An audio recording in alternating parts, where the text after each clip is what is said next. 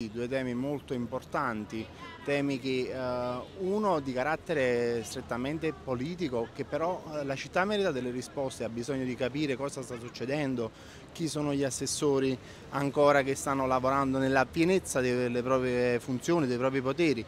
E l'altro tema invece è quello là del caro vita che eh,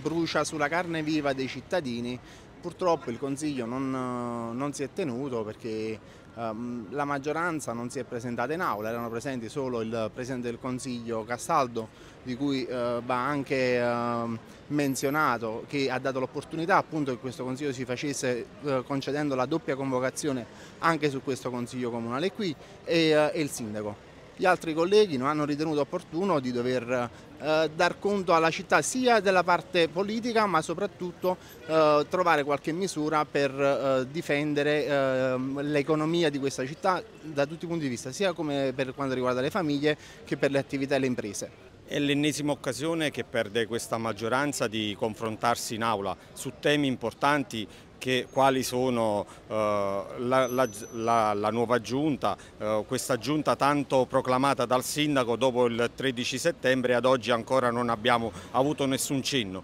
Noi eh, voglio ringraziare il sindaco che era presente e il Presidente del Consiglio che ci ha dato la possibilità di eh, riunirci in seconda convocazione, ma c'è un problema serio, questa città ha dei temi da affrontare e l'Assise è il tema, è il luogo giusto dove poterlo fare, anche sul PUC dove c'è un silenzio silenzio tombale e la città chiede delle risposte, chiede di partecipare, chiede di condividere le scelte che questa amministrazione ha pensato nelle quattro mura di Corso Campano numero 200.